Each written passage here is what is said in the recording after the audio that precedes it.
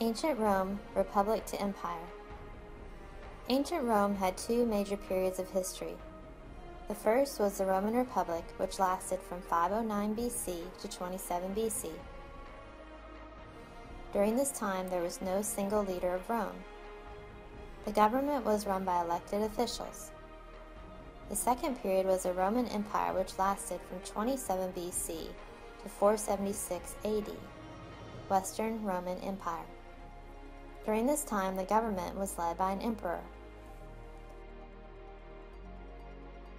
During the time of the Roman Republic, the top leaders of the Roman government were consuls. There were two consuls at a time, and they only served for one year.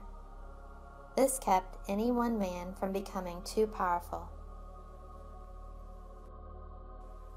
The fall of the Roman Republic began in 59 BC with an alliance between the three powerful Roman politicians Julius Caesar, Pompey the Great, and Marcus Licinius Crassus.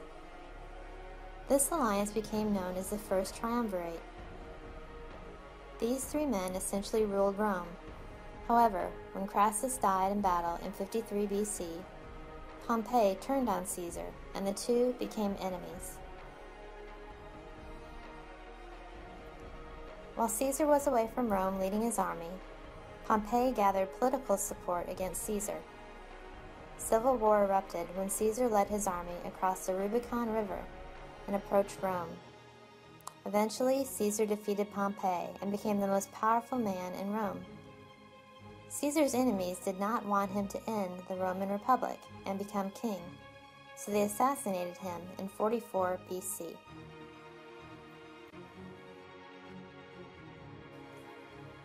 After Caesar died, a second triumvirate formed between Mark Antony, Octavian, Caesar's heir, and Lepidus. The second triumvirate was officially recognized by the Roman government in 43 BC. Some historians consider this to be the end of the Roman Republic. The second triumvirate ruled for 10 years until 33 BC. However, it began to split up when Octavian removed Lepidus from power in 36 BC.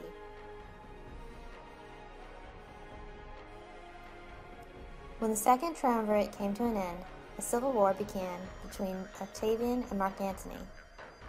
While Mark Antony was with his army in the eastern portion of the empire, Octavian built a power base in Rome. He soon launched an attack against Mark Antony, who had allied with Cleopatra VII of Egypt.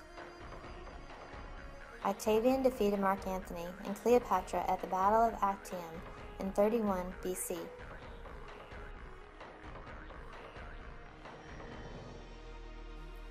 Octavian was now the most powerful man in all of Rome.